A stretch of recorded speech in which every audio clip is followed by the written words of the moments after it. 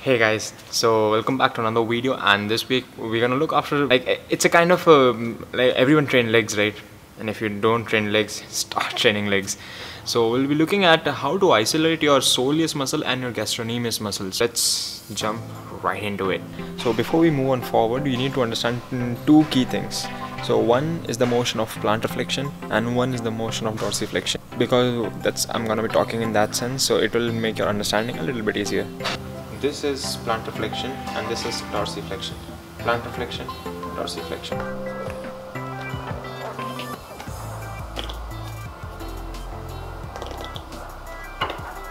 So this is a normal calf raises that we do. You go completely down, go completely up. You're on your toes.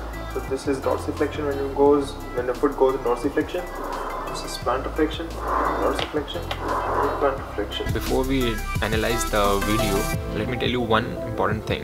So a muscle produces its action only when it crosses over a particular joint. In this case, trying to achieve plantar flexion and plantar flexion is happening at the ankle joint. And the primary mover in standing calf raise for plantar flexion is gastrocnemius.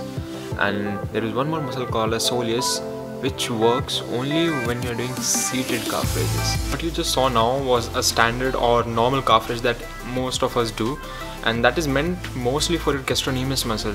So a lot of people just consider calf muscle. So calf muscle comprises of two muscles. One is gastrocnemius and one is soleus. The soleus is present a little deeper than the gastrocnemius so but while doing a standing calf raise you will work more on your gastrocnemius see how the seated calf raises are done. So this is the position for seated calf raise. Your knee will be at an angle of 90 degrees. So, and again rest everything is same. And the weight loaded will be on top of your quadriceps. So again the same plant flexion and dorsiflexion. So this now your foot is dorsiflex and this is plantar flexion. So in this case your soleus is working mainly. The primary mover and seated calf raise is or when your knee is flexed is soleus instead of your gastrocnemius. The reason for that is basically now what you have done is you have shortened the length of gastrocnemius. Why? Because gastrocnemius is a two joint muscle. So what I mean by that is the gastrocnemius goes all the way down till your ankle and it has attachment or it crosses the knee.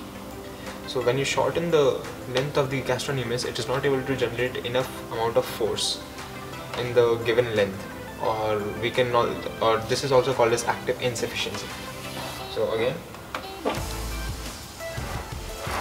in seated calf raise we're working mainly on your soleus instead of your gastrocnemius and if you want to see the difference you can just feel the muscle. You won't like you find the contraction is not actually in the gastrocnemius it's mostly in the uh, soleus. most important part for either standing or seating calf raise is that you get the stretch in your uh, soleus and your gastrocnemius and how will you get the stretch is uh, the platform it should be like your heel should completely drop off. Because if your heel is not dropping off you're not, not gonna get the enough stretch.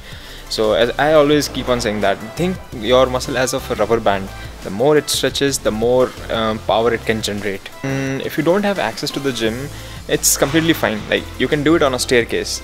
Uh, you like the best way like sometimes I don't even use the weight. Staircase is just a like do it in the end of your workout and you will completely feel the burn in your gastrocnemius trust me and as well as your soleus just use the staircase it will com works completely fine. That's it guys for today. I hope you learned something new from this and uh, let me know if you like this video and if you like please subscribe this channel and share this video as much as possible because we need to spread this awareness. Or yeah that's it. So i'll see you in the next video. It will be yeah next week i think it's a very fun topic to talk about next week. So until then see ya and goodbye